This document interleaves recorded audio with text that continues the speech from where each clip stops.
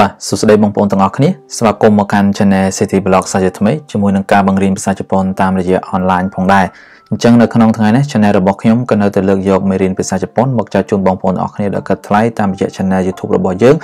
ដែលមាននៅលើអេក្រង់នេះស្រាប់គឺ City Blog បងប្អូនចូលទៅកាន់ YouTube វាឈ្មោះថា City Blog ហើយចុចសញ្ញាកណ្ដឹងឬក៏ចុច Subscribe នៅទីនោះ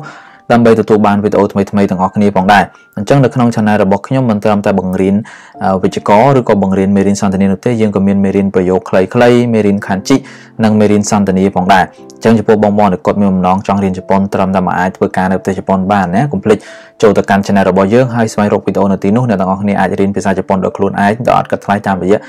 online បានហើយណាតែអញ្ចឹងកុំឲ្យខាតពេលយូរនៅក្នុងថ្ងៃនេះគឺខ្ញុំបង្រៀនអ្នកទាំងអស់គ្នាអំពីមេរៀនប្រយោគខ្លីៗណាអញ្ចឹងដោយសារតែមានបងប្អូនយើងមួយចំនួនខ្លះគាត់គ្រាន់តែចង់រៀនជប៉ុនដើម្បីមកអាចមកដើរលេងនៅជប៉ុនក៏ដូចជាមកធ្វើការមកល្មមអាចធ្វើការបានឬក៏អ្នកខ្លះក៏រៀនជប៉ុនដើម្បីធ្វើការជាមួយនឹងមេមេរបស់គាត់ជនជាតិជប៉ុននៅស្រុកខ្មែរដែលគាត់គ្រាន់តែចង់ចេះប្រយោគខ្លីៗនៅក្នុងប្រយោគសន្ទនានោះថ្ងៃនេះខ្ញុំលើកយកមេរៀនបែបហ្នឹងមកបង្រៀនអ្នកទាំងអស់គ្នាផងដែរណាអញ្ចឹងយើងក៏លេចទៅមើលលើលើអេក្រង់របស់យើងទាំងអស់គ្នានៅខាងលើអាជួអក្សរខាងលើដែលអក្សរពណ៌ខ្មៅនេះគឺជាអក្សរដែលមានអក្សរខណ្ឌជីនៅទីនេះអញ្ចឹងចំពោះបងបងដែលគាត់ចង់ចេះប្រយោគហើយគាត់ចង់ចេះទាំងពាក្យព្រមទាំងចេះអក្សរខណ្ឌជីទៀតអ្នកនរគ្នាអាចមើលនៅខាងលើបានចំណែកអក្សរពណ៌សនេះគឺជារបៀបអានប្រយោគមួយនោះហើយខាងក្រោមគឺជារបៀបបកប្រែនៅខាងក្រោមនេះគឺជាការបកប្រែនៃប្រយោគមួយហ្នឹងអញ្ចឹងសូមបញ្ជាក់បងប្អូនទាំងអស់គ្នាថាប្រយោគខ្លីៗគឺជាប្រយោគដែលជនជាតិជប៉ុនអាសានិយាយនៅក្នុងជីវភាពប្រចាំថ្ងៃ អញ្ចឹងមានន័យថា clear ទាំងអស់ហ្នឹងកាលណា clear ដែលគេនិយាយវាមិនត្រូវវិជ្ជករទាំងអស់នោះទេមាន clear ខ្លះវាអត់ត្រូវវិជ្ជករទេប៉ុន្តែគេអាសាប្រើប្រាស់ណាជាក់ស្ដែងនៅក្នុងភាសាខ្មែរយើងក៏ដោយនៅក្នុងភាសានិយាយយើងមិននិយាយត្រូវវិជ្ជករទាំងអស់នោះទេប៉ុន្តែជាទូទៅត្រូវបានគេប្រើប្រាស់អញ្ចឹងដូចជាក់ស្ដែងដូចគ្នានៅក្នុងមេរៀនប្រយោគខ្លីៗរបស់យើងគឺយើងមិនបានផ្ដោតទៅលើមេរៀនវិជ្ជករទេយើងផ្ដោតទៅលើប្រយោគហ្នឹងគឺជនជាតិជប៉ុនអាសានិយាយហើយនៅពេលដែលយើងលើគេនិយាយប្រយោគហ្នឹងយើងដឹងថាមានន័យថាបែបណា ពេលខ្លះការនិយាយមកវាអត់ត្រូវវិជ្ជករទេប៉ុន្តែប្រយោគហ្នឹងគេប្រើប្រាស់បានគេស្ដាប់ន័យបានអីអញ្ចឹងណាដោយសារគេអាសាប្រាស់អញ្ចឹងអ្នកនរគ្នាអាចកត់សម្គាល់ឡើងនឹងបានទាំងអស់គ្នាណាតែអញ្ចឹងកុំឲ្យខាតទេយើងចូលទៅកាន់មេរៀនរបស់យើងទាំងអស់គ្នាតែម្ដងណា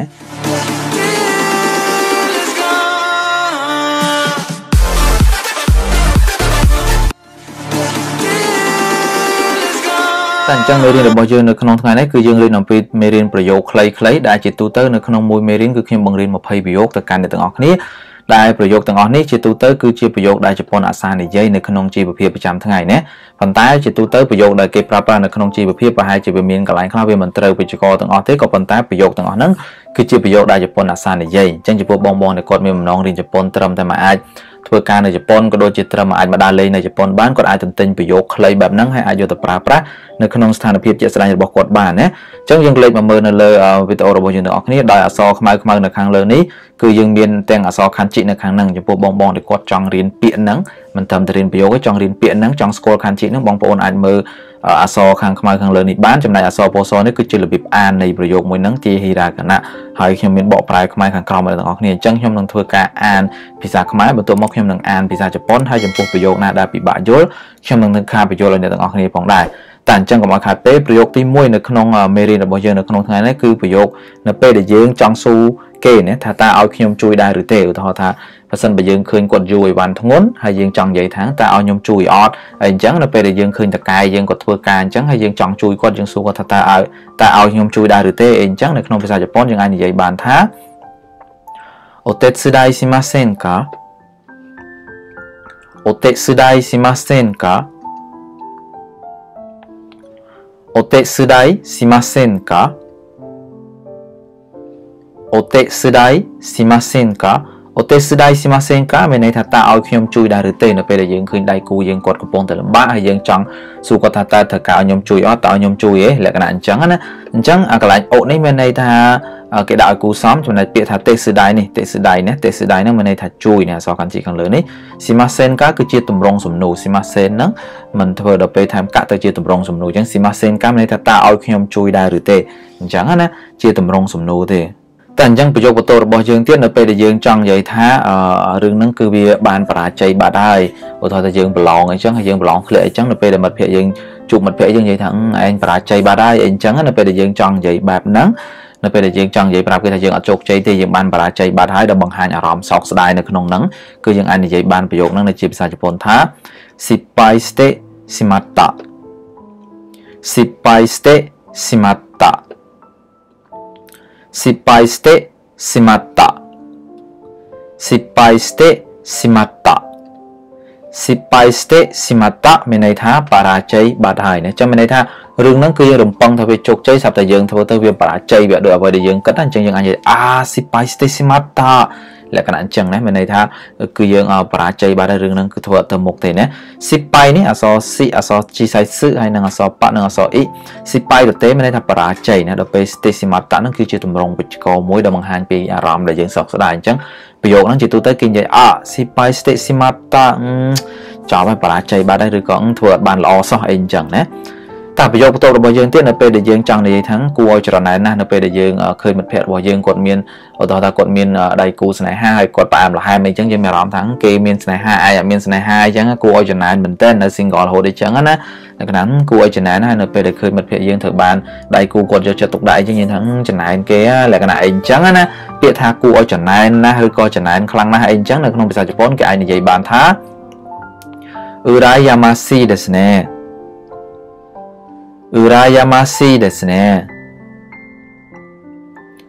羨ましいですね。羨ましいですねពាក្យថាអ៊ឺរ៉ាយ៉ាម៉ាស៊ីហ្នឹងមានន័យថាគួរឲ្យចំណាននៅពេលដែលថែមប្រយោគ listener គឺជាទម្រង់ប្រយោគទេនៅពេលដែលយើងនិយាយទៅកាន់ដៃគូយើងណាអញ្ចឹងអ៊ឺរ៉ាយ៉ាម៉ាស៊ី listener អ៊ឺរ៉ាយ៉ាម៉ាស៊ី listener ដែលមានន័យថាគួរឲ្យចំណានណាស់ណា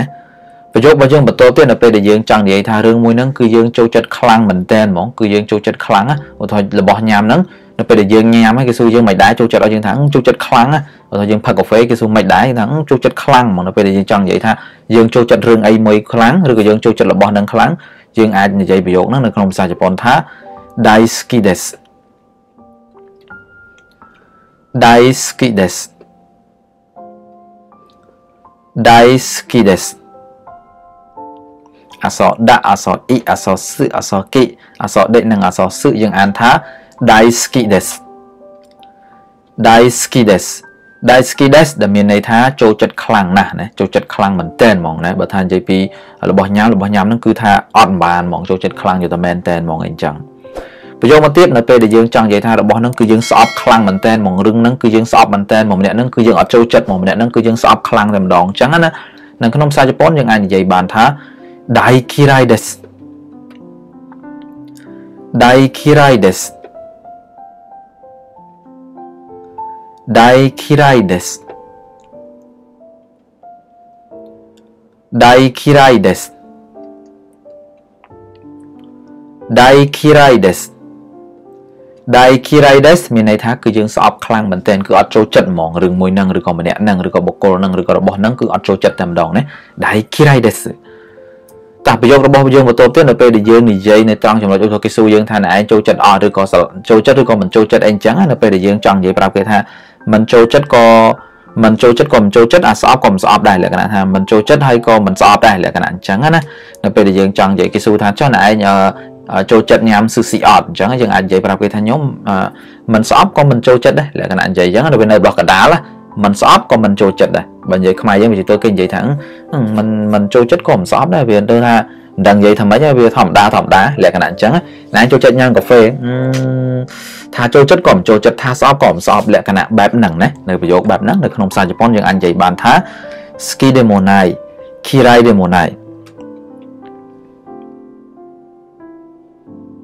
ski de monai kirai de monai ski de monai kirai de monai ski de monai kirai de monai 好きでもない嫌いでもないដែលមានន័យថាមិនចូលចិត្តក៏មិនស្អប់ដែរលោកថាគេសួរយើងណែឯងស្រឡាញ់ម្នាក់ A នឹងអត់មិនស្រឡាញ់ក៏មិនស្អប់ដែរលក្ខណៈអញ្ចឹង ski demonai kirai demonai ប្រយោគមួយហ្នឹងគឺអាសាលើជប៉ុននិយាយមកនៅពេលដែលយើងសួរគាត់ចង់ឲ្យគាត់ឆ្លើយច្បាស់អញ្ចឹងគាត់បែរជាឆ្លើយយ៉ាងសុភាពសិលបែបហ្នឹងណា ski demonai kirai demonai មានថាមិនចូលចិត្តក៏មិនស្អប់ដែរមិនថានៅពាក្យកដាល តែប្រយោគរបស់យើងតបទៅទៀតនៅពេលដែលយើងចង់និយាយថាខ្ញុំស្រឡាញ់អ្នកណាខ្ញុំស្រឡាញ់អ្នកមិនមែនខ្ញុំចូលចិត្តអ្នកទេណាបើចូលចិត្តគេប្រើពាក្យ ski ប៉ុន្តែនៅពេលដែលយើងចង់និយាយថាខ្ញុំស្រឡាញ់អ្នកនៅក្នុងភាសាជប៉ុនគេអាចនិយាយបានថា anata o aishite imasu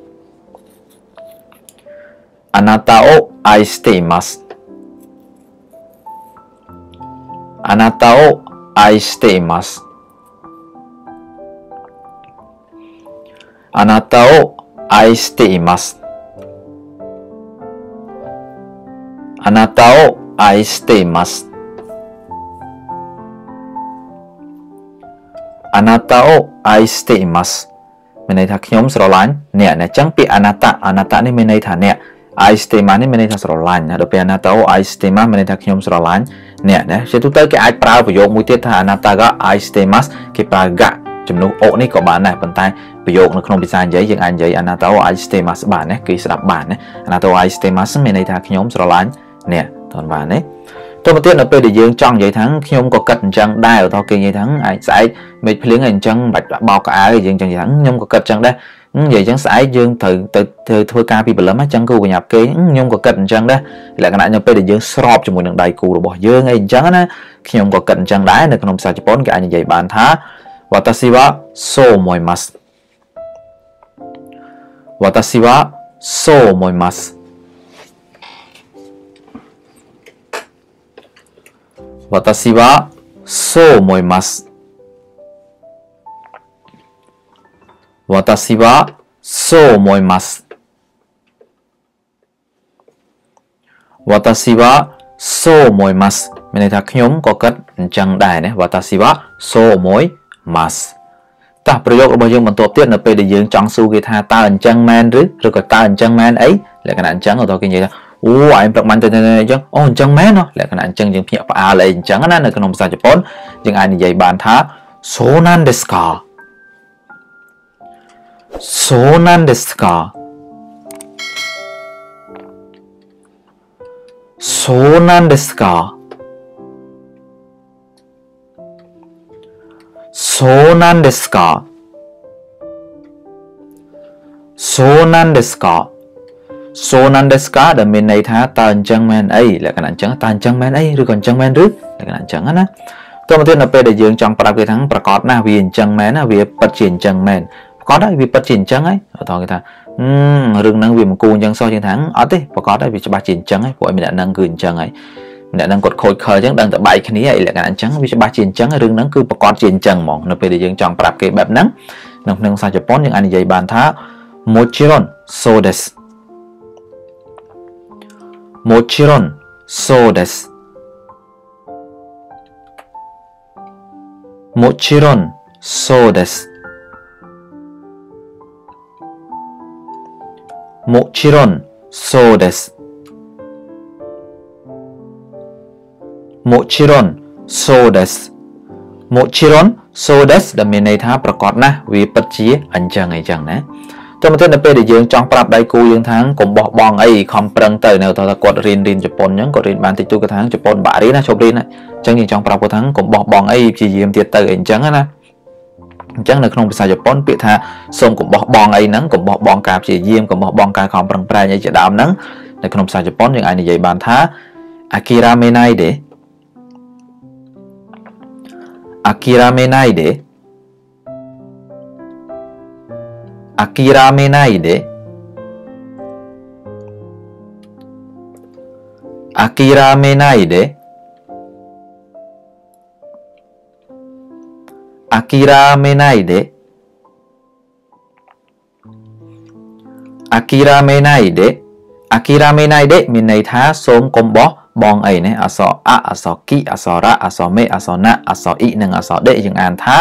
អាគីរ៉ាមេណៃដេមានន័យថាសូមកុំបោះបងអីណាពាក្យរបស់យើងបន្តទៀតនៅពេលដែលយើងចង់ប្រាប់ដៃគូយើងថាសូមឲ្យអ្នកឯងខំប្រឹងប្រែងរហូតដល់ទីបញ្ចប់មានន័យថា កុំបោះបង់វាពាក្យកដាទីអញ្ចឹងអីប្រឹងប្រែងវាដល់ទីចប់ទៅថាបើយើងដាក់ចិត្តមកធ្វើការ3ឆ្នាំនៅជប៉ុនយើងធ្វើវាចូលដល់ចប់ទៅបើយើងដាក់ចិត្តថាយើងរៀននៅសាកលវិទ្យាល័យយើងត្រូវតែរៀនឲ្យចប់អញ្ចឹងកុំបោះបង់វាពាក្យកដាទីប្រឹងវាដល់ទីចប់ទៅនៅក្នុងភាសាជប៉ុនគឺយើងអាចនិយាយបានថា Saigo made gambatte Saigo made gambatte Saigo made gambatte 最後まで頑張って最後まで頑張ってមានន័យថាក្រុមប្រឹងប្រែងឲ្យដល់ទីបាញ់ចប់ជាទូទៅបើសិនជាប្រយោគហ្នឹងយើងនិយាយជាមួយអ្នកដែលគាត់មានឋានៈខ្ពស់ជាងយើងគាត់មានវ័យច្រើនជាងយើងយើងអាចនិយាយថា saigo made gambate kudasai គេថាពាក្យ kudasai នៅខាងក្រោយក៏ប៉ុន្តែដោយសារប្រយោគនេះជាប្រយោគដែលគេនិយាយទូទៅជាមួយនឹងមិត្តភ័ក្តិឬក៏អ្នកដែលមានឋានៈស្មើគ្នាគេនិយាយពាក្យធំថា saigo made gambate មានន័យថាខំប្រឹងដល់ទីបញ្ចប់ណាតែបើយើងនិយាយជាមួយអ្នកដែលគាត់មានឋានៈខ្ពស់ជាងយើងឬតកែរបស់យើងយើងអាចនិយាយថា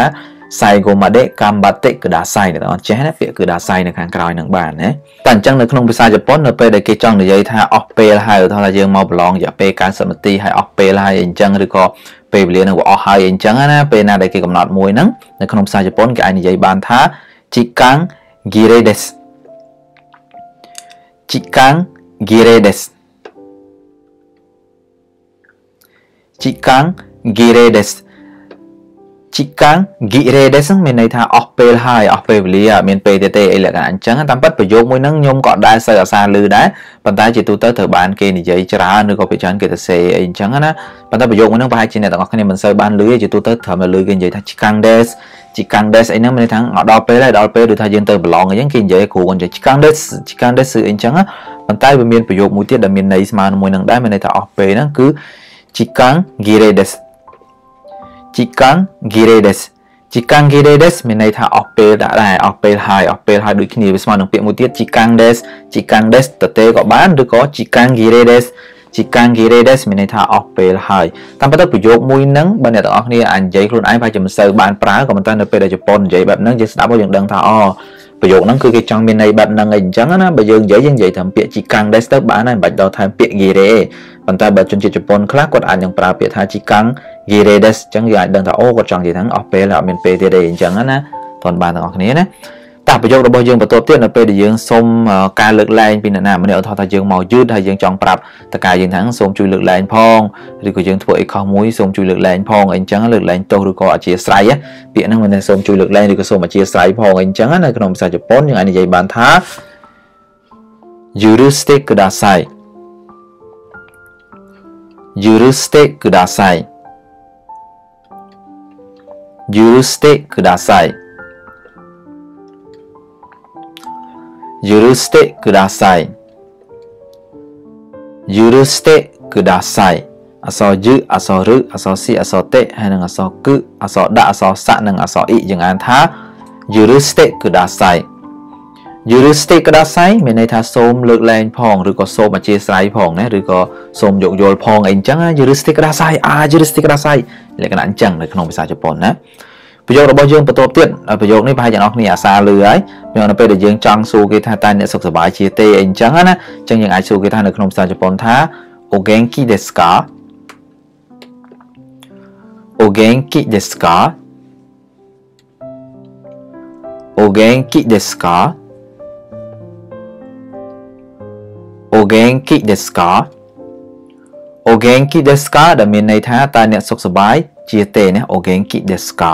ទោះមកទៅនៅពេលដែលយើងនិយាយបែបឲ្យវាគូសមបន្តិចនៅពេលដែលយើងចង់និយាយថាដោយសារតែកូនប៉ុនហ្នឹងខ្ញុំសុខសប្បាយធម្មតាទេដោយសារតែកូនប៉ុនខ្ញុំសុខសប្បាយជាធម្មតាទេប្រយោគហ្នឹងប្រហែលជាអាសាលឺគេនិយាយនៅពេលដែលតកែគាត់សួរអញ្ចឹងហើយគេជប៉ុនគេឆ្លើយគូសមទៅកាន់អ្នកដែលមានឋានៈខ្ពស់អញ្ចឹងគេប្រើប្រយោគបែបហ្នឹងណារឿងដោយសារតែកូនប៉ុនហ្នឹងខ្ញុំសុខសប្បាយជាធម្មតាទេអញ្ចឹងនៅក្នុងភាសាជប៉ុនយើងអាចនិយាយបានថាおかげさまで元気ですおかげさまで 元気ですおかげさまで元気ですមានន័យថាដោយសារតែកូនប៉ុនខ្ញុំសុខសប្បាយធម្មតាទេតាមពិតទៅយើងនិយាយត្រឹមពាក្យថា Hi genki des ហ្នឹងគឺបានហើយប៉ុន្តែប្រយោគមួយហ្នឹងអ្នកនរគ្នានៅពេលអ្នកនរគ្នារៀនជប៉ុនយូរទៅជួបកន្លែងភាសាផ្លូវកាយគេច្រើនគេនិយាយបែបហ្នឹងណាច្រើនជួបទូទៅយូរយូរខ្ញុំជួបម្ដងដែរអញ្ចឹងណាប្រយោគដែលគេជួបទូទៅយើងសួរគាត់ o genki des ka អញ្ចឹងគេនិយាយថា Hi genki des អញ្ចឹងប៉ុន្តែអ្នកខ្លះគាត់អាចនិយាយថា o kage sama de genki des o kage sama de genki des ណា o kage sama de genki des おかげさまで元気ですមានន័យថាដោយសារតែកូនបុណ្យហ្នឹងខ្ញុំសុខសប្បាយជាធម្មតាទេអញ្ចឹងណាតាប្រយោគរបស់យើងបន្ទាប់ទៀតនៅពេលដែលយើងចង់និយាយថាខ្ញុំជាអ្នកគាំទ្ររបស់នាងណាតារាស្រីម្នាក់ហ្នឹងគាត់គឺជាតារាសម្ដែងហើយយើងគាំទ្រគាត់អីចឹងយើងជា fan របស់គាត់ណាអញ្ចឹងនៅក្នុងភាសាជប៉ុនយើងអាចនិយាយបានថា វតាស៊ីវ៉ាខាណូជូណូ fan ですវតាស៊ីវ៉ាខាណូជូណូ fan ですនៅក្នុងភាសាអង់គ្លេសគេនិយាយ fan នៅក្នុងភាសាជប៉ុនគឺ fan ណា fan ហ្នឹងមានន័យថា fan ហ្នឹងឯងវតាស៊ីវ៉ាខាណូជូណូ fan です 私は彼女のファンです私は彼女のファンです មានន័យថាខ្ញុំជាអ្នកគាំទ្ររបស់នាងបើយើងដូរពី kanocho ទៅជា kare មានន័យថាគាត់វិញណា watashi wa kare no fan desu ឬក៏ watashi wa wanda no fan desu ឬក៏ wanda អ្នកខ្លះ fan wanda អញ្ចឹងទៅ watashi wa chidiwit no fan desu ឬក៏ watashi wa ព្រាបស្វាត់ no fan desu ខ្ញុំជា fan របស់ព្រាបស្វាត់ជា fan អីអញ្ចឹងទៅយើងអាចដូរប្រយោគហ្នឹងអាស្រ័យទៅយើងចង់និយាយបានណា ទៅទៀតនៅពេលដែលយើងចង់សួរគេថាតើកម្រងនេះយ៉ាងម៉េចដែរណាកម្រងឧទាហរណ៍កម្រងយើងដើរលេងកម្រងការងារអីជាដើមអញ្ចឹងទៅនៅក្នុងភាសាជប៉ុនគេអាចនិយាយបានថា kono keikaku wa dou desu ka この計画はどうですかこの計画はどうですかこの計画はどうですか この計画はどうですかこの計画はどうですかមានន័យថាតើគម្រោងនេះយ៉ាងម៉េចដែរណាទុំទៀតនៅពេលដែលយើងចង់និយាយថាម៉ាវាមិនសូវអាក្រក់អីទេអញ្ចឹងថាវាមិនអីទេវាមិនអាក្រក់អីទេឧទាហរណ៍ថារឿងហ្នឹងមិនដែរអញ្ចឹងម៉ាវាមិនសូវអាក្រក់អីហ្មងទេរឿងប៉ុណ្ណឹងប៉ុណ្ណឹងអញ្ចឹងគេថាការស្លៀកពាក់របស់ខ្ញុំមិនដែរអញ្ចឹងថាម៉ាវាមិនអាក្រក់អីទេលក្ខណៈអញ្ចឹងណា វាមិនល្អពេកក៏វាមិនអាក្រក់ពេកតែសមរម្យអីអញ្ចឹងលក្ខណៈបែបហ្នឹងណាអញ្ចឹងនៅក្នុងភាសាជប៉ុនគេនិយាយបានថាម៉ាវ៉ារុគឺណៃម៉ាវ៉ារុគឺណៃម៉ាវ៉ារុគឺណៃម៉ាវ៉ារុគឺណៃម៉ាវ៉ារុគឺណៃអសម៉ាក់និងអសអាហ្នឹងគឺម៉ាណាអញ្ចឹងម៉ាវ៉ារុគឺណៃណាអញ្ចឹងមានន័យថា ទេវាមិនអាក្រក់អីទេលក្ខណៈជាទូទៅខាងក្រៅហ្នឹងគេថែមអក្សរណែមួយទៀតថាម៉ាវ៉ារឹកគឺណៃយូណែឬក៏ម៉ាវ៉ារឹកគឺណៃណែលក្ខណៈអញ្ចឹងទេវាមិនអាក្រក់អីទេលក្ខណៈអញ្ចឹងណាចំទៀតនៅពេលដែលយើងចង់និយាយថាសូមបន្តធ្វើវាទៀតទៅតោះថាគាត់ខំប្រឹងរៀនអីចឹងហើយគាត់សុកសុកបោះបង់ការផឹងប្រែងរបស់គាត់យើងថាសូមបន្តសូមខិតប្រឹងប្រឹងប្រែងបន្តទៀតទៅសូមខិតខំប្រឹងប្រែងបន្តទៀតអីចឹងណានៅក្នុងភាសាជប៉ុនគេនិយាយបានថា dozo suzukete yatte kudasai どうぞ続けてやってください。どうぞ続けてやってください。どうぞ続けてやってください。どうぞ続けてやってくださいមានន័យថាសូមបន្តធ្វើវា ទៀតទៅណាកុំបោះបង់អីដែលប្រយោគទី1របស់យើងដែលមានពាក្យភាសាខ្មែរថាសូមកុំខ្វល់អីឬក៏សូមកុំយកចិត្តទុកដាក់អីមានន័យថាឧទាហរណ៍យើងធ្វើខុសអីមួយអញ្ចឹងយើងប្រាប់គេថាអើខ្ញុំសុំទោសខ្ញុំអីអញ្ចឹងខ្ញុំអាចចេតនាអញ្ចឹងគេថាអូមិនខ្វល់មិនខ្វល់អីវាអីបាញ់យកចិត្តទុកដាក់អីរឿងតិចតួចឯលក្ខណៈថានៅពេលដែលយើងយើងចង់និយាយចឹងទៅកាន់គេណាថាគេធ្វើកំហុសអីមួយមកលើយើងឬក៏គេមានរឿងអីមួយឬក៏គេមានបញ្ហាអីចឹងយើងប្រាប់ថាមិនបាច់ខ្វល់អត់អីមិនបាច់ខ្វល់ទេមិនបាច់យកចិត្តទុកដាក់អីអញ្ចឹងណាអញ្ចឹងកាលណាយើងចង់និយាយបែបហ្នឹងនៅក្នុងភាសាជប៉ុនគឺយើងនិយាយថា 気にしないでください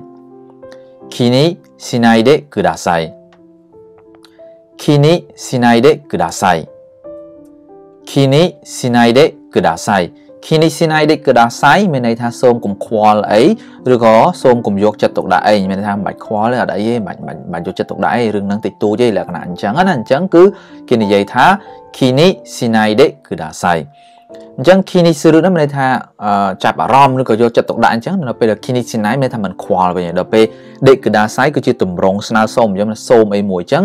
kini sinai dekudasai ហ្នឹងមានន័យថាសូមកុំ ខ្វល់សូមកុំយកចិត្តទុកដាក់អីមិនបាច់ចាប់អារម្មណ៍ទេរឿងហ្នឹងតូចតាចអីទេលក្ខណៈអញ្ចឹងគីនីស៊ីណៃឌីកាដាសៃឧទាហរណ៍ថាយើងជួយលើកអីវ៉ាន់គេអញ្ចឹងគេថាអារីតូកូសៃម៉ាស្តាឬក៏អីចឹងហ្នឹងគេប្រើពាក្យដោយតាសមាស្តិប៉ុន្តែនៅក្នុងករណីថាយើងចង់ប្រាប់គេថាណែមិនបាច់ខ្វល់ទេមិនបាច់យកចិត្តទុកដាក់អីរឿងហ្នឹងវាអត់អីទេរឿងតូចតាចទេមិនបាច់មិនបាច់ខ្វល់មិនបាច់អីទេអញ្ចឹងគឺយើងអាចនិយាយប្រយោគថាគីនីស៊ីណៃឌីកាដាសៃដែលមានន័យថាសូមកុំខ្វល់ឬក៏សូមកុំយកចិត្ត ទុកដាក់អីអញ្ចឹងខ្ញុំគិតថាប្រយោគនេះប៉ះសិនបើបងបងដែលគាត់រស់នៅប្រទេសជប៉ុនដែលកំពុងតែរស់នៅស្រាប់ប្រហែលជាធ្លាប់ឮជនជាតិជប៉ុនគាត់និយាយអញ្ចឹងអើគីនីស៊ីណាគីនីស៊ីណៃឌីកាដាសៃឬក៏គីនីស៊ីណាអីហ្នឹងគឺអាសាឮបែបហ្នឹងហើយតែចំពោះបងបងដែលគាត់ត្រៀមនៅមកជប៉ុនអាចប្រើប្រាស់ប្រយោគហ្នឹងបានហើយខត់ពីរបៀបអានទៅនៅពេលដែលយើងមកដល់ជប៉ុនពេលឮគេនិយាយយើងអាចចាប់បានឬក៏យើងសាករៀនប្រើប្រាស់អីអញ្ចឹងណាពាក្យថាគីនីស៊ីណៃឌីកាដាសៃគីនីស៊ីណៃឌីកាដាសៃ 気にしないでください មានន័យថាសូមកុំខ្វល់អីឬក៏សូមកុំយកចិត្តទុកដាក់អីណាតាប្រយោគបន្ទាប់របស់យើងទៀតនៅក្នុងមេរៀនរបស់យើងគឺនៅពេលដែលយើងចង់និយាយជាភាសាខ្មែរថាសូមគុំបារម្ភអីយើងថាបាច់បារម្ភទេអត់អីខ្ញុំអាចទៅតែឯងបាននោះថយកស៊ូណែឯងអាចត្រឡប់ទៅប្រទេសវិញដោយតែឯងបានអត់ឬក៏ណែអាចទៅផ្សារតែឯងបានអត់អីចឹងយើងថាបាច់បារម្ភទេអត់អីខ្ញុំអាចចេះមើលថែខ្លួនឯងបានហើយបាច់បារម្ភទេណែឯងអាចធ្វើការនឹងតែឯងបានអត់អីខ្ញុំអាចធ្វើបានបាច់បារម្ភទេលក្ខណៈអញ្ចឹងណា អញ្ចឹងនៅក្នុងភាសាជប៉ុនគឺយើងនិយាយបានថា心配しないでください心配しないでください。心配しないでください。心配しないでください。心配しないでくださいមានន័យថាសូមគុំបារម្ភអីណាមិនបាច់បារម្ភមិនបាច់ព្រួយបារម្ភអីទេអញ្ ចឹងពេលថា simpai នេះអក្សរខណ្ឌជីនៅខាងលើនេះ simpai សរឹកឬក៏ simpai ស៊ីម៉ាសឬក៏ simpai ទៅទេនោះមានន័យថាព្រួយបារម្ភយើងបារម្ភណាដល់ពេលទៅជាតម្រងណៃគេមានន័យថាមិនវិញណាមិនបារម្ភដល់ពេលដេកកដាសៃគឺជាទម្រង់ស្នើសុំដូចយើងខាងដើមអញ្ចឹងអញ្ចឹងស៊ីមប៉ៃស៊ីណៃដេកកដាសៃមានន័យថាសូមកុំបារម្ភអីអត់អីទេខ្ញុំអាចទៅបានគេសួរថាអ្នកឯងអាចទៅទៅតុកជោតែឯងបានអត់យើងអាចនិយាយបានថាអ៊ីអេស៊ីមប៉ៃស៊ីណៃដេកកដាសៃអត់អីទេមិនបាច់បារម្ភទេលក្ខណៈអញ្ចឹងណាស៊ីមប៉ៃស៊ីណៃដេក កដាសៃមានន័យថាសូមកុំបារម្ភអីតោះប្រយោគរបស់យើងបន្ទាប់ទៀតប្រយោគមួយនេះនៅពេលដែលយើងចង់និយាយថានៅពេលដែលគេនិយាយមកថាតើអ្នកអាចអង្គុយកន្លែងនេះបានទេមានន័យថាជាទូទៅបើសិនបើអ្នកនរគ្នាចូលនៅប្រទេសជប៉ុនអ្នកនរគ្នាទៅញ៉ាំនៅហាងអីចឹងណានៅពេលហ្នឹងគឺបុគ្គលិកគេណែនាំយើងថាកូចរ៉ាណូស៊ីគីដេម៉ូដែលយូបូតេស្កាអីចឹងមានន័យថាគេនិយាយថាតើអ្នកអាចអង្គុយកៅអីនេះកើតអត់ឬក៏កៅអីនេះមិនដែរអញ្ចឹងធម្មតាវានៅក្នុងហាងវាមានកៅអីជាប់ប្អួយកៅអីក្បែរ counter កៅអីប្លោះកដាលអីចឹងអញ្ចឹងគេណែនាំយើងថា តើអ្នកអាចអង្គុយកន្លែងនេះបានអត់អ្នកអាចអង្គុយកន្លែងនេះមិនដែរអញ្ចឹងគេសួរយើងអញ្ចឹងអញ្ចឹងបើយើងថាតែយូវាអត់ចាំបាច់ត្រូវតែអង្គុយក្បែរប្អូចអត់ចាំបាច់អីទេអានឹងយើងឆ្លើយទៅតែបើសិនជានៅប្រទេសជប៉ុនគឺជាទូទៅនៅហាងពេលខ្លះបើអត់មានភ្ញៀវហ្មងគឺគេឲ្យយើងអង្គុយដល់ជាយឺមានន័យថាអ្នកអង្គុយកន្លែងណាក៏បានដែរតែបើមិនមានភ្ញៀវហើយគេនឹងណែនាំយើងមកហាងមកកន្លែងនេះកន្លែងនេះអញ្ចឹងតែអ្នកអាចអង្គុយកន្លែងនេះបានទេអីអញ្ចឹងគេសួរយើងសិនដែរណាពេលដែលគេអានណៃពេលដែលគេណែនាំកន្លែងអង្គុយឲ្យយើង កន្លែងហ្នឹងចំពោះអ្នកដែលមកជប៉ុនប្រហែលជាធ្លាប់ជួបហើយអញ្ចឹងនៅពេលដែលបុគ្គលិកគេនិយាយប្រយោគបែបហ្នឹងគឺគេចង់សម្ដៅន័យអញ្ចឹងតន់បានទេពេលដែលយើងចង់និយាយប្រយោគបែបហ្នឹងជាភាសាជប៉ុនគឺយើងអាចនិយាយបានថាこちらの席でも大丈夫ですかこちらの席でも大丈夫ですかこちらの席でも大丈夫ですか こちらの席でも大丈夫ですかដែលមានន័យថាតើអ្នកអាចអង្គុយកន្លែងនេះបានទេអ្នកអាចអង្គុយកៅអីនេះកើតអត់អ្នកអាចអង្គុយតុកន្លែងនេះកើតអត់ណាអញ្ចឹងនៅពេលដែលយើងបកមកពាក្យមកពាក្យកុចិរៈហ្នឹងមានន័យថាខាងនេះនេះខាងនេះខាងនេះសុចិរៈខាងនោះអចិរៈឯណោះខាងឯណោះអញ្ចឹងណាណូហ្នឹងគឺជាបង្ហាញពីបរិស័ព្ទទេហើយសេគិសេគិនេះរបៀបអាននៅខាងក្រោមនេះមានន័យថាកៅអីណាសេគិហ្នឹងកៅអីឬក៏កន្លែងអង្គុយតុកអីចឹងណា demo ហ្នឹងផងដែរណា dayobu deska dayobu សំទោស dayobu ហ្នឹងមានន័យថាអត់បញ្ហាអីណាឬក៏អត់អត់មានបញ្ហាអីណាណា dayobu ហ្នឹងបញ្អត់មានបញ្ហាអីទេចឹងនិយាយចឹងអត់មានបញ្ហាទេដល់ពេល deska ទៅជាសំរងសំណួរដល់ពេលដែលប្រយោគហ្នឹងយើងភ្ជាប់វាទៅវាទៅជាអត្ថន័យមួយこちらの席でも大丈夫ですかចឹងគេសួរថាតើអ្នកអាចអង្គុយកន្លែងនេះបានទេអ្នកអាចអង្គុយនៅកៅអីនេះក៏អត់អីណាអ្នកអាចអង្គុយនៅកន្លែងនេះបានតើនៅពេលដែលគេណែនាំភ្ញៀវបុគ្គលិកគេណែនាំកន្លែងអង្គុយមកកាន់យើងអីអញ្ចឹងណាហ្នឹងហើយ ទៅមកទៀតប្រយោគរបស់យើងផ្ទាប់ទៀតនៅពេលនៅកលៈកលៈទេសៈហ្នឹងបើសិនជាត្រូវបានបុគ្គលិកគេនិយាយអញ្ចឹងមកកាន់យើងយើងអាចឆ្លើយបានពីរបែបណាទី1គឺមិនអីទេឬក៏មិនមានបញ្ហាអីទេណាមិនអីទេឬក៏មិនមានបញ្ហាអីទេអញ្ចឹងយើងអាចនិយាយនៅក្នុងភាសាជប៉ុនថា kamaimasen ឬក៏ daijoubu desu kamaimasen ឬក៏ daijoubu desu ខាម៉ៃម៉ាសេនហ្នឹងមានន័យថាមិនអីទេអត់អីទេអត់បញ្ហាទេមកខាម៉ៃម៉ាសេនខ្ញុំអត់ចំពោះខ្ញុំអត់អីទេចឹងនិយាយចឹង Diobudes ឬក៏យើងអាចឆ្លើយថា Diobudes ហ្នឹងហើយมันមានបញ្ហាអីទេអត់បញ្ហាអីទេចឹងកន្លែងនេះគឺយើងឆ្លើយតបទៅប្រយោគមួយនេះនៅពេលដែលគេនិយាយថាこちらの席でも大丈夫ですかតើកៅអីតើអ្នកអង្គុយនៅតុនេះកើតបានតើអត់អីណាលក្ខណៈអញ្ចឹងណាចង់ដូរកន្លែងឬក៏អង្គុយកន្លែងហ្នឹងវាចិត្តគេអីចឹងអត់ចង់អង្គុយក្បែរគេចង់ដូរកន្លែងហ្នឹងគេសួរយើងអញ្ចឹងこちらの席でも大丈夫ですか ហើយនៅពេលដែលយើងចង់ឆ្លើយតបគេថាអត់អីទេអត់មានបញ្ហាអីទេអញ្ចឹងយើងអាចឆ្លើយបានពីរបែបនៅក្នុងភាសាជប៉ុនដោយទី1យើងអាចនិយាយថា kamaimasen kamaimasen kamaimasen kamaimasen មានន័យថាមិនអីទេដល់ពេល daijoubu desu daijoubu desu ហ្នឹងមានន័យថាមិនមានបញ្ហាអីទេឬក៏មិនអីទេពីរពាក្យហ្នឹងគឺយើងបកប្រែបានទាំងពីរដូចខាងក្រោមហ្នឹងមានន័យថា kamaimasen ឬក៏ daiyo budes ហ្នឹងគឺមានន័យថាមិនអីទេឬក៏មិនមានបញ្ហាអីទេពីរពាក្យហ្នឹងគឺបកប្រែបានពីរនឹងដូចគ្នាណាទន់បានទេ kamaimasen ឬក៏ daiyo budes នៅពេលដែលយើងចង់ឆ្លើយតបអញ្ចឹងតែយើងចូលទៅប្រយោគរបស់យើងបន្ទាប់ទៀតនៅពេលដែលយើងចង់និយាយថាចាប់ពីពេលក្រោយទៅសូមប្រុងប្រយ័ត្នផងឧទាហរណ៍ថាគាត់ជិះកង់ជិះអីប៉ះយើងឬក៏គាត់ធ្វើកិច្ចការនឹងខុសឧទាហរណ៍គាត់វាយឯកសារខុសឬក៏ព្រិនឯកសារខុស អញ្ចឹងទៅយើងប្រាប់គាត់ថាអដីទេលើកនឹងអដីទេប៉ុន្តែចាប់ពីពេលក្រោយទៅសូមមេត្តាចេះប្រុងប្រយ័ត្នផងណាកុំប្រធ្វើប្រហែលអញ្ចឹងឲ្យចេះប្រុងប្រយ័ត្នផងចាប់ពីពេលក្រោយទៅនឹងអញ្ចឹងកាលណាយើងចង់និយាយអញ្ចឹងនៅក្នុងភាសាជប៉ុនយើងអាចនិយាយបានថា Sigikara wa kiyosukete kudasai Sigikara wa kiyosukete kudasai Sigikara wa kiyosukete kudasai ណាអញ្ចឹង Sigikara wa 気をつけてください。ね。じゃん次からは気をつけてください。次からは気をつけてくださいចឹងស្គីហ្នឹងមានន័យថាបន្ទាប់ទៀតណាខារៈហ្នឹងចាប់ពីវៈជាបរិវត្តសាប់ទេចឹងស្គីខារៈមានចាប់ពីពេលក្រោយទៅចាប់ពីពេលបន្ទាប់ទៅណា kioskete មានន័យថាប្រុងប្រយ័ត្នណាពួក kioskema ហ្នឹងប្រុងប្រយ័ត្នដល់ពេលតិកដាសៃមានន័យថាសូមអញ្ចឹង kioskete កដាសៃមានថាសូមប្រុងប្រយ័ត្នអញ្ចឹងដល់ពេលយើងប្រយោគនឹងពេញទៅ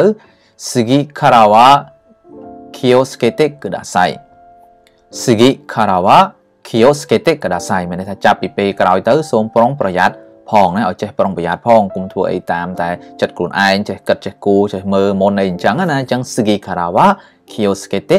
គឺដាសៃមានចាប់ពីពេលក្រោយទៅសូមប្រុងប្រយ័ត្នផងណា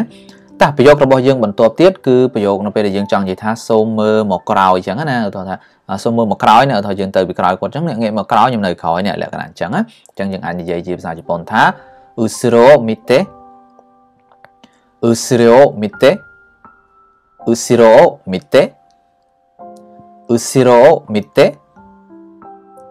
usuro mite បើយើងចង់ឲ្យគូសំយើងអាចថែមក្តាសៃបានថា usro mite ក្តាសៃអញ្ចឹងទៅឲ្យគូសំតែមកភាសាទូទៅគេនិយាយកាត់កាត់អញ្ចឹងទៅ usro mite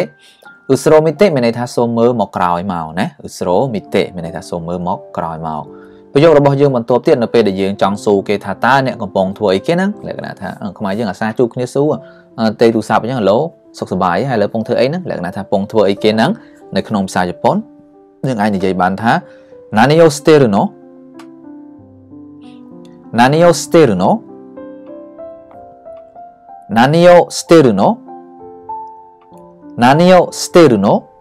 nani yo stiru no មានន័យថាតើអ្នកកំពុងធ្វើអីគេណា nani នឹងគឺអ្វីនេះពាក្យថា nani នឹងអ្វីអូនឹងជាបរិបាស័ព្ទ stiru នឹងកំពុងធ្វើ no នឹងដោយសារតែភាសានិយាយតាមពិតបើយើងនិយាយអាចមកបែបទៀតថា nani yo stiru desu ka ឬក៏ nani yo ste ste imasu ka យើងអាចនិយាយបានថា nani yo ste imasu ka ឬក៏ nani yo stiru desu ka អញ្ចឹងក៏បានដែរប៉ុន្តែភាសានិយាយដែលកាត់ឲ្យលឿនគេអាសាប្រើហ្នឹងគឺ nani yo stiru no nani yo stiru no nani o stay ru no nani o stay ru no ហ្នឹងមានន័យថាតើអ្នកកំពុងធ្វើអីហ្នឹងអ្នកឯងកំពុងធ្វើអីគេហ្នឹងលក្ខណៈអញ្ចឹងភាសាហ្នឹងយើងអាចប្រើបានជាមួយមិត្តភ័ក្តិមួយអីអញ្ចឹងប្រយោគរៀងមិនសូវគូសំទេបើគូប្រើមួយតកាយយ៉ាងអីយើងអាចនិយាយ nani o stay imasu ka យើងប្រើទម្រង់ maske វិញណា nani o stay imasu ka តើលោកតកែកំពុងធ្វើអីគេហ្នឹងតើបើមួយមិត្តភ័ក្តិមួយអ្នកមានអាយុស្កស្កយើងអីអ្នកចិត្តដិតអីយើងអាចនិយាយ nani o stay ru no តើកំពុងធ្វើអីហ្នឹងតើកំពុងធ្វើអីហ្នឹងលក្ខណៈអញ្ចឹងណា តោះប្រយោគរបស់យើងបន្តទៀតនៅពេលដែលយើងចង់និយាយថាតើអ្នកអ្នកឯងមានរឿងអីមែនតើអ្នកមានរឿងអីមែនមានបញ្ហាអីមែនណាអញ្ចឹងយើងអាចនិយាយនៅក្នុងភាសាជប៉ុនបានថា do stan desu ka do stan desu ka do stan desu ka do stan desu ka do stan desu ka do stan desu ka ដែលយើងបកប្រែថាតើអ្នកមានរឿងអីមែនមានបញ្ហាអីមែននោះថាយើងឃើញគាត់មុខស្ពូនអីមកអញ្ចឹងអរេ do stan desu ka do stan desu ka ណាចាំមើលថា do stan desu ka do stan desu ka តើមានរឿងអីមែនលក្ខណៈចឹងណាយករស់យើងបន្តទៀតនៅពេលដែលយើងចង់និយាយសួរគេថាតើមុននឹងអ្នកឯងនិយាយថាម៉េចមុននឹងអ្នកឯងនិយាយអីគេខ្ញុំស្ដាប់បានទេចង់និយាយយើងមុននឹងអ្នកឯងនិយាយអីគេលក្ខណៈបែបហ្នឹងនៅក្នុងភាសាជប៉ុនយើងអាចនិយាយបានថា Nanto itano desu ka nanto itano desu ka nanto itano desu ka nanto itano desu ka ប្រយោគនោះប្រហែលជាពិបាកអានទៅចំពោះអ្នកដែលគាត់ទៅតែរៀនជប៉ុនដំបូងអីចឹងប៉ុន្តែអ្នកដែលគាត់ធ្លាប់នៅជប៉ុនអីចឹងអាចងាយនឹងក្នុងការបញ្ចេញសំឡេងបានទេអត់បាក់អីណាចឹង nanto itano desu ka nanto itano desu ka តើនិយាយចឹងអ្នកឯងបាននិយាយថាម៉េចមិញហ្នឹងណានិយាយគេមុនហ្នឹងនិយាយស្ដាប់អត់បានទេលក្ខណៈចឹង nanto nan ហ្នឹងអ្វីណា to ហ្នឹងគឺប្រើជាមួយនឹងទម្រង់ imas អញ្ចឹង ita ហ្នឹងបាននិយាយ deska អីគេណាអញ្ចឹង nanto itano deska តើអ្នកឯងបាននិយាយអីគេអ្នកឯងនិយាយថាម៉េចមុនហ្នឹងលក្ខណៈអញ្ចឹងណាឧទាហរណ៍យើងស្ដាប់បាន nanto itan deska nanto itano deska លក្ខណៈអញ្ចឹងអឺនិយាយចឹងអ្នកឯងនិយាយគេមុនហ្នឹងអត់ដាក់បាននិយាយថាម៉េចមិនលក្ខណៈអញ្ចឹង nanto itano deska ណាប្រយោគមួយហ្នឹងទៅមកទៀតប្រយោគរបស់យើងនៅពេលដែលយើងចង់សួរគេថាឥឡូវហ្នឹងម៉ោងប្រហែលហើយឬថាយើង អត់មាននាឡិកាយទេអញ្ចឹងយើងអាចសួរគេថាឥឡូវម៉ោងប៉ុន្មានហើយអញ្ចឹងនៅក្នុងភាសាជប៉ុនអ្នកនរគ្នាកុំភ្លេចមើលខានជីនៅខាងលើផងណាមិនត្រឹមតែចេះប្រយោគចេះការប្រើប្រាស់ប្រយោគនឹងនៅស្ថានភាពបែបណាទេចេះអានទេកុំភ្លេចខានជីផងណាខានជីក៏សំខាន់នៅក្នុងភាសាជប៉ុនដែរតែអញ្ចឹងនៅពេលដែលយើងចង់សួរគេថាតើឥឡូវម៉ោងប៉ុន្មានហើយយើងអាចនិយាយនៅក្នុងភាសាជប៉ុនថា今何時ですか今何時ですか 今何時ですか今何時ですか今何時ですか今何時ですか今何時ですかនោះមានន័យថាតើឥឡូវម៉ោងប៉ុន្មានហើយណា ima នេះមានន័យថាឥឡូវ nanchi នេះម៉ោងប៉ុន្មាន deska គឺជាទម្រង់សំណួរអញ្ចឹង ima nanchi deska តើឥឡូវម៉ោងប៉ុន្មានហើយណាប្រយោគរបស់យើងបន្តទៀតនៅពេលដែលយើងចង់និយាយថាឥឡូវនេះម៉ោង2ល្ងាចហើយណាឥឡូវនេះម៉ោង2ល្ងាចហើយអញ្ចឹងនៅក្នុងភាសាជប៉ុនយើងអាចនិយាយបានថា今午後2時です今午後2時です今午後2時です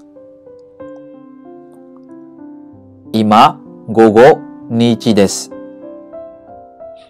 今 go go nichi です今ហ្នឹងមានន័យថាឥឡូ w យើងចេះហើយណា go go ហ្នឹងគឺមានន័យថា ពេលភាសាបើនៅក្នុងភាសាអង់គ្លេសវាមាន AM និង PM អញ្ចឹងណាមានចាប់ពីម៉ោង12ថ្ងៃមកគេចាប់ផ្ដើមប្រើ gogo ហើយចាប់ពីម៉ោង1យប់ទៅគេប្រើ gosen ណា gosen ហ្នឹងនៅពេលព្រឹកហើយ gogo ហ្នឹងពេលល្ងាចសំដៅគឺនៅពេលដែលយើងប្រើម៉ោងពេលល្ងាចអញ្ចឹង gogo នេះជាដែរណាមានន័យថាម៉ោង2ល្ងាចឬក៏ម៉ោង2រសៀលអីហ្នឹងឯងណាអញ្ចឹង gogo ហ្នឹងមានន័យថា PM ចំណែក gosen ណា gosen ដែលអស់គ្នាផ្លែជួបឲ្យ gosen ហ្នឹងគឺ AM ណាអញ្ចឹងអឺ ima gogo nichi desu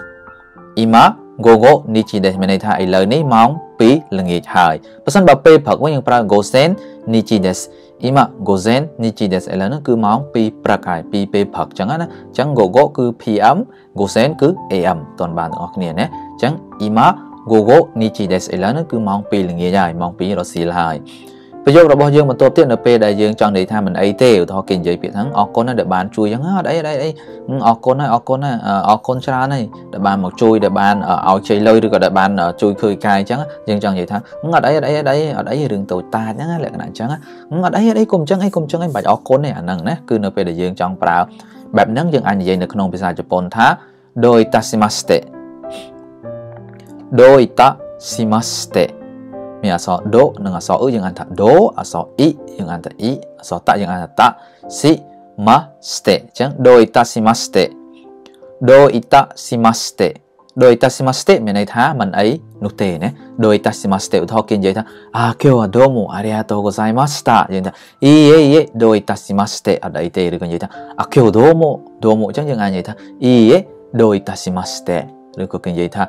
本当に助けてくれてありがとうございましたយើងក៏អាចតបទៅគេវិញថាいいえいえどうどういたしましてឬក៏យើងមិននិយាយអីក៏បានដែរនិយាយថាどういたしましてមានថាអត់អីទេអត់អីទេរឿងប៉ុណ្ណឹងអត់អីក៏អត់មានបញ្ហាអីទេលក្ខណៈអញ្ចឹងណាទៅមកទៀតនៅពេលដែលយើងចង់និយាយថា សុំទោសដែលខ្ញុំមកយឺតឧទាហរណ៍ថាយើងណាត់គេម៉ោង2ហើយយើងទៅដល់ម៉ោង2 5នាទីឬក៏ម៉ោង2 10នាទីអីចឹងយើងអាចនិយាយទៅកាន់គេថាអូសុំទោសឲ្យដែលខ្ញុំមកយឺតអីអញ្ចឹងណាអញ្ចឹងនៅក្នុងភាសាជប៉ុនយើងអាចនិយាយបានថា遅れてすみません遅れてすみません遅れてすみません 遅れてすみません遅れてすみません。遅れてすみません。 អូគូរីតេស៊ឺមីម៉ាសេនមានន័យថាអូគូរីតេហ្នឹងមានន័យថាមកយឺតណាយឺតដល់ពេលស៊ឺមីម៉ាសេនហ្នឹងសូមអភ័យទោសឬក៏សូមទោសអញ្ចឹងប្រយោគហ្នឹងអូគូរីតេស៊ឺមីម៉ាសេនមានន័យថាសូមទោសដែលខ្ញុំមកយឺតនៅពេលដែលយើងនៅជប៉ុនយើងអាចនៅពេលដែលយើងណាត់គេយឺតអីទៅដល់ដំបងឡើយកុំនិយាយហេតុផលអីយើងត្រូវតែនិយាយសូមទោសសិនណានៅក្នុងប្រទេសជប៉ុនគឺអញ្ចឹងហើយអញ្ចឹងគឺ ម៉ាស៊ឺវ៉ាអាយ៉ាម៉ាទីកាដាសៃគេចង់និយាយអញ្ចឹងអញ្ចឹងដំបងឡើយយើងទៅដល់យើងយឺតអីចឹងយើងដឹងខ្លួនយើងយឺតទៅដល់យើងថាអូគូរីតេស៊ឺមីម៉ាសេនដេស្តាឬក៏អូគូរីតេស៊ឺមីម៉ាសេន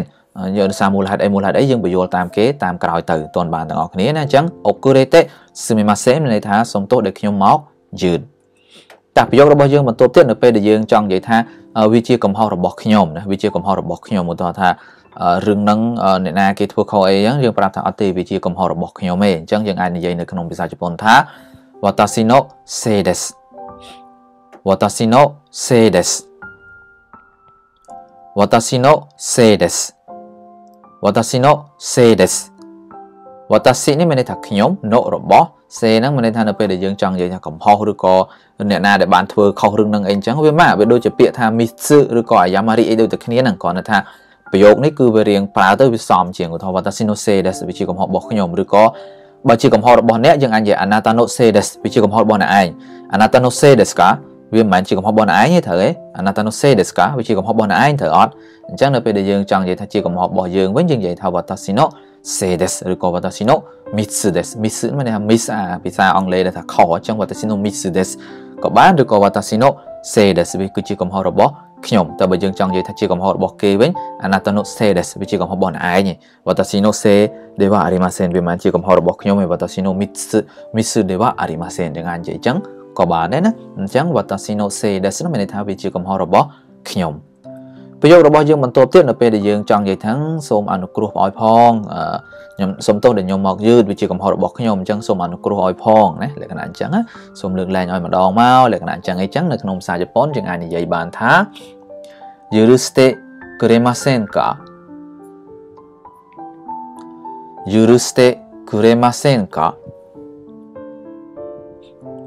許してくれませんか 許してくれませんか許してくれませんか許してくれませんかមានន័យថាសូមអនុគ្រោះឲ្យផងណា許してនេះមានន័យថាលើកលែងឬក៏អនុគ្រោះចឹងម៉ាស់គឺរេម៉ាសេនកាហ្នឹងគឺនៅពេលដែលយើងប្រើមកខ្លួនយើងណាអញ្ចឹងយើងស្នើសុំអញ្ចឹងយូរស្តេគឺរេម៉ាសេនកាមានន័យថាសូមអនុគ្រោះឲ្យព្រះអង្គសូមលើកលែងឲ្យផងអូយូរស្តេកដាសៃដែលយើងធ្លាប់លើយូរស្តេកដាសៃមានន័យថាសូមសូមលើកលែងផងដល់ពេលយើងចង់ប្រើសម្រាប់ខ្លួនយើងវិញ យឺស្ទេក្រេម៉ាសេងកាតើឯងលើកលែងឲ្យខ្ញុំបានអត់វាជាកំហុសរបស់ខ្ញុំខ្ញុំដឹងហើយ Watashi no sei desu ga យឺស្ទេក្រេម៉ាសេងកាលក្ខណៈអញ្ចឹងណាមិនដែរគ្នាយើងបន្ទាប់ពីយើងបានមើលការបញ្យល់នៅលើ screen ក៏ដូចជាការចែកចម្លែករបៀបអានក៏ដូចជារបៀបប្រើប្រាស់នៅលើ screen យ៉ាងម៉េចដែរបើសិនបើអ្នកទាំងអស់គ្នាមានសំណួរក៏ដូចជាមានសំណល់ណា comment នៅខាងក្រោមវីដេអូរបស់យើងមកយើងនឹងធ្វើការឆ្លើយតបនៅវីដេអូបន្តទៀតហើយបើសិនបើអ្នកទាំងអស់គ្នាមានសំណួរក៏ដូចជា ចង់ដឹងអំពីប្រយោគខ្លីៗបែបណាមួយអាចប្រាប់មកខាងយើងយើងនឹងរៀបចំបើសិនបើយើងមានពេលគ្រប់គ្រាន់ក្នុងការរៀបចំឲ្យអ្នកទាំងអស់គ្នាអញ្ចឹងអរគុណច្រើនចំពោះការមើលវីដេអូមួយនេះហើយចំពោះអ្នកដែលទើបតែបានមើលវីដេអូយើងនៅក្នុងមេរៀនរបស់យើងនៅថ្ងៃនេះមានបំណងចង់រៀនភាសាជប៉ុនពីកម្រិតដំបូងរហូតដល់កម្រិតមធ្យមនៅក្នុងភាសាជប៉ុនណានៅក្នុងភាសាជប៉ុន ពីកម្រិត N5 រហូតដល់កម្រិត N2 ឬ N1 នៅក្នុងភាសាជប៉ុនអាច Subscribe Channel YouTube របស់យើងដើម្បីទទួលបានវីដេអូថ្មីៗនេះផងដែរតែអញ្ចឹងអរគុណច្រើនបើសិនបើក្នុងការបញ្យល់ក៏ដូចជាការអានទៅមានការខុសឆ្គងឡើយណាអធិស្ឋានចំពោះរៀមច្បងដែលចេះភាសាជប៉ុនមុនមុនផងអរគុណច្រើនជួបគ្នានៅវីដេអូក្រោយអរគុណច្រើនបាយបាយ